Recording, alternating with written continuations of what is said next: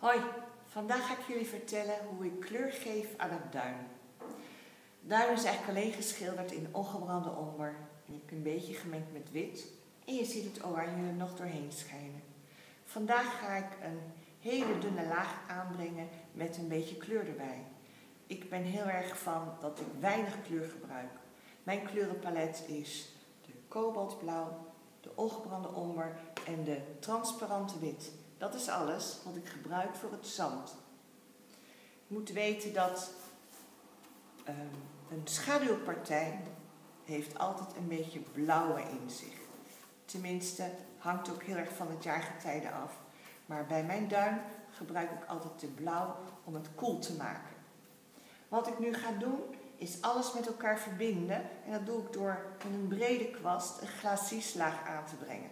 Dat betekent een doorschijnende laag die ik sterk verdund heb.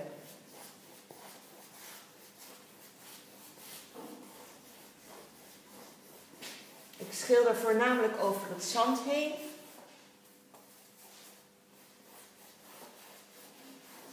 En ik laat nog even het helmgras ongemoeid. Want dan ga ik in een later stadium met groen overheen.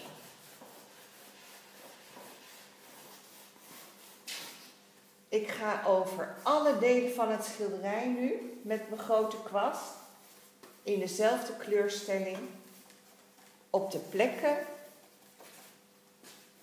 waar de schaduw valt.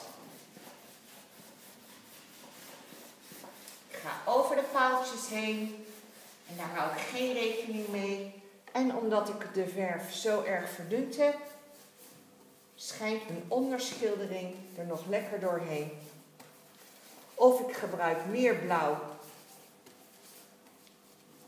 of ik gebruik minder blauw met de ongebrande omber.